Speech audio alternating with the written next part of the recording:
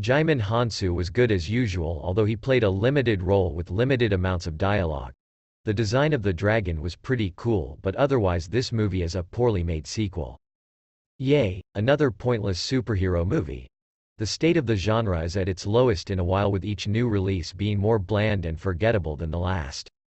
Shazam Fury of the Gods is competing against Ant-Man 3 and Marvel for the crown of who could make a more inconsequential and boring superhero flick this year.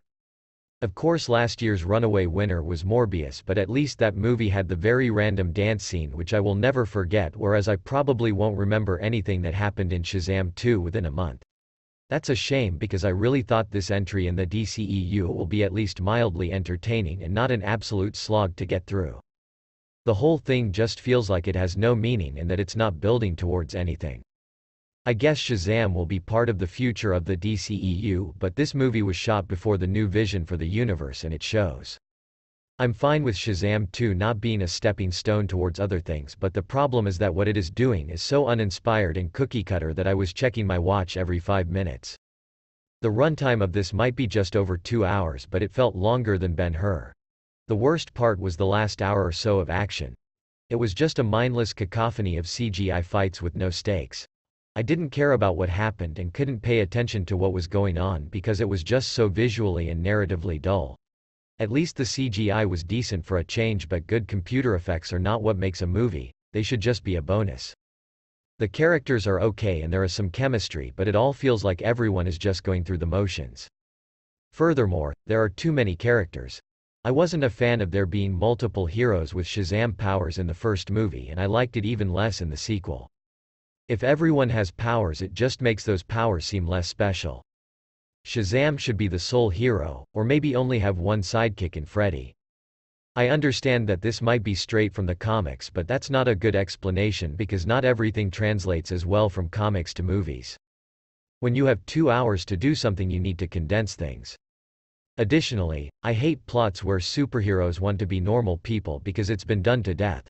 At the start of the movie most of the Shazam family wants to do other things besides being superheroes and it's just a tired plot point.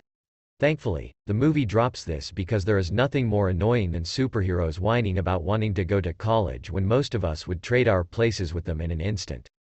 Last but not least, the worst bit of the film is the ending. It's truly one of the dumbest endings I've ever seen but it's to be expected from the genre at this point.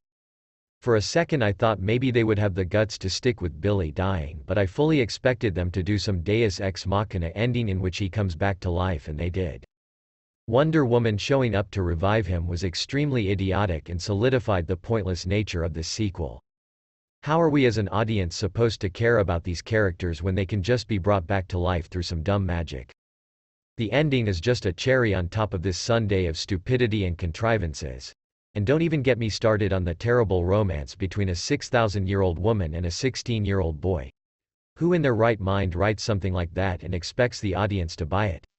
I hope this movie does poorly like Ant-Man did so that maybe these studios take notice and stop spewing inconsequential dross out and actually try to make interesting movies with actual stakes in them.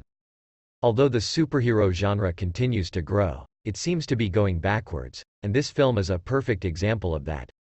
Not only does it fall behind in many aspects compared to the first film, but it's also just a bad movie.